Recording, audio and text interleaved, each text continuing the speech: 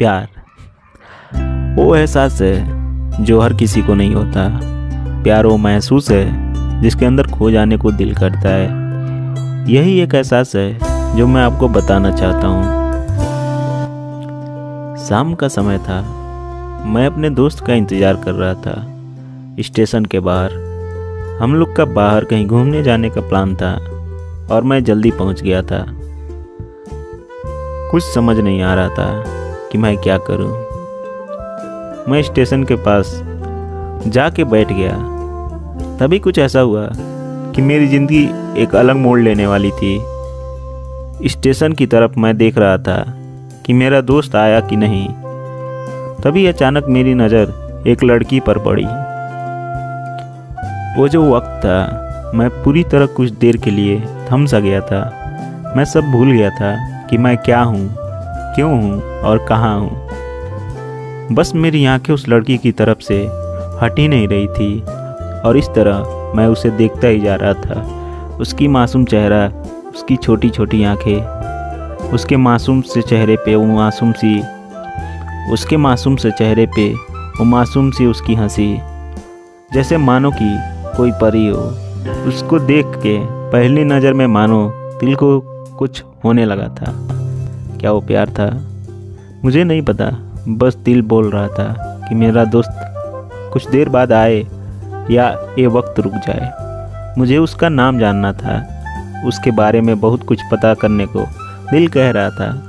लेकिन कैसे करूँ? ये समझ ही नहीं आ रहा था। जब कुछ समझ नहीं आया, तब मैंने बस भगवान से प्रार्थना किया कि मुझे ये लड़की मेरी ज़िंदगी में चाहिए। वह जा रही थी। मेरी आँखों से दूर, मुझे रोकना था उसे। उससे बातें करना था, उससे दोस्ती करनी थी, और उसे अपने दिल की बात बतानी थी, लेकिन कैसे? यही सवाल बार बार मेरे मन में आ रहा था, और मुझे बेचैन किए जा रहा था। मैंने फिर सोच लिया कि मेरी आँखों से दूर होने से पहले मुझे इसका नाम पता चल जाए तो मैं इसे अपना बना लूँगा, और शायद भगवान ने ही उसे भेजा होगा मेरे लिए। ये मैं समझूँगा। तभी भगवान ने चमत्कार कर दिया। पीछे से आवाज़ आई। प्रिया, मैं यहाँ हूँ। फिर वो पीछे देखी। तो मैंने देखा वहाँ से एक लड़की आवाज़ दी और वो उसके पास चली गई। तभी मैं समझा, उस लड़की का नाम प्रिया था। मैं खुश हो गया और उस लड़की का मन ही मन धन्यवाद बोलते जा रहा था, क्योंकि उसी की वजह से मुझे उसका नाम पता चला था। बस तभी मैंने ठान ली। अब उसे अपना बनाना है। उसे अपनी ज़िंदगी में लाना है। फिर तभी मैं उसके पीछे जाने लगा कि अचानक ही पीछे से एक हाथ आया। पीछे देखा तो दोस्त आ गया था। अब मैं क्या करूँ? समझ नहीं आ रहा था। मैं क्या बोलूँ उससे? कैसे मना करूँ उससे? कैसे जाऊँ मैं उसके पीछे? मैं इसी सोच में लग रहा था। तब तक वो मेरी आँखों से दूर जा चुकी थी। दिल मानो रोने लगा था। और तभी मानो ऐसा लगा कि जैसे सब कुछ एक सपना था और आँखें खुल गया तो सपना टूट गया। मैं वहाँ से चला गया अपने दोस्त के साथ। लेकिन पूरी रातें उसी के बारे में सोचता रहा। मानो मेरा दिल अब उसकी ख्याल से निकलने का तैयार ही नहीं था।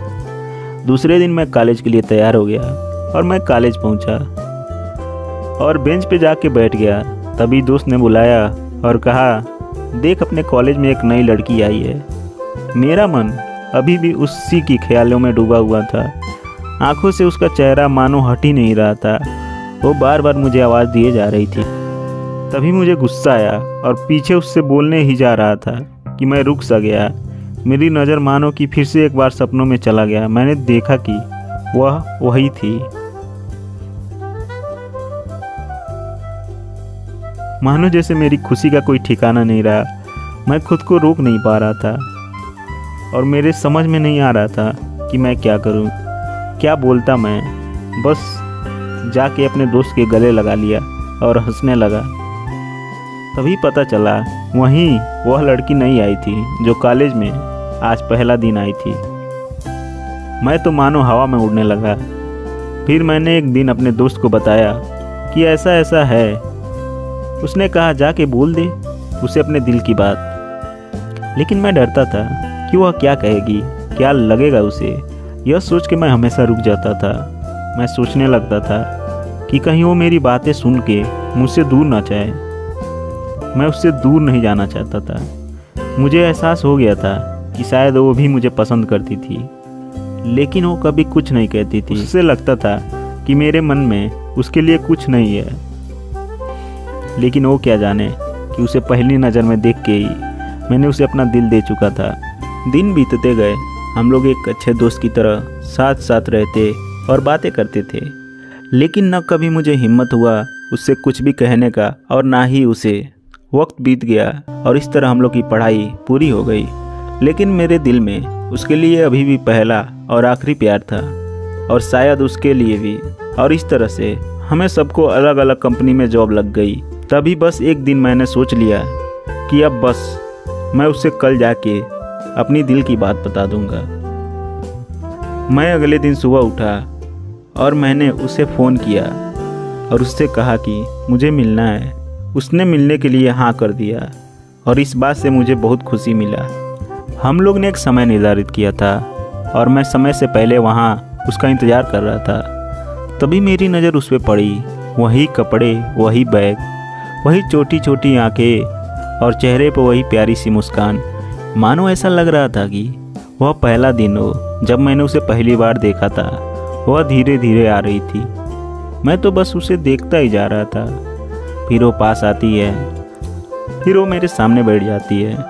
तभी बस मैंने उससे कहा कि मुझे कुछ कहना है उस, फिर तभी उसने भी कह दिया कि मुझे भी कुछ कहना है तुम्हें। मैं खुश हो गया। मुझे लगा कि आज वो भी अपने दिल की बात बोल देगी। फिर मैंने उससे कह दिया कि तुम पहले बोल दो।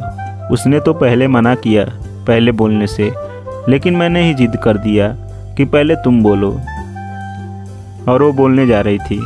मानो मेरी साँसें रुक गई थी। उसकी बातें सुनने के लिए सब कुछ थम सा गया था। बस ऐसा लगा मैं और वो और कुछ नहीं है आसपास। फिर उसने अपने बैग से एक कार्ड निकाला और दिया मुझे। वो जो पल था, वही पहला पल। जब मुझे लगा कि मेरा सपना था और वो टूट गया उस कार्ड में उसकी शादी का आमंत्रण था। बस फिर क्या था? सब कुछ वहीं रुक गया। शायद मैंने बहुत देर कर दी थी उससे अपनी दिल की बातें बताने में। शायद बहुत ही बहुत ही देर कर दी थी। फिर उसने मुझसे पूछा कि तुम क्या कहना चाहते थे? मैं क्या कहता? तब मैंने बात बदल दी और वो चली गई। और मैं वहीं बैठा रह गया। मुझे उसे अपना बनाने का बस एक सपना ही था शायद। जो एक समय पे आके टूट गया, वो आज का दिन और पहला दिन। मानो क्यों आया था मेरी ज़िंदगी में? अब तक ये बात समझ नहीं आया। पहला दिन भी एक सपने की तरह आई और कुछ देर बाद टूट गई और आज का ये पल, जो फिर से एक सपना बनकर एक ही पल में टूट गया। इसीलिए दोस्त, कभी भी अपनी दिल की बात बताने में देर ना करो, वरना इतना देर हो जाता है। अपने प्यार को बस सपने में ही अपनाना पड़ जाता है। तो वीडियो पसंद आई हो तो लाइक करना, कमेंट करना और अपने दोस्तों के साथ शेयर ज़रूर करना।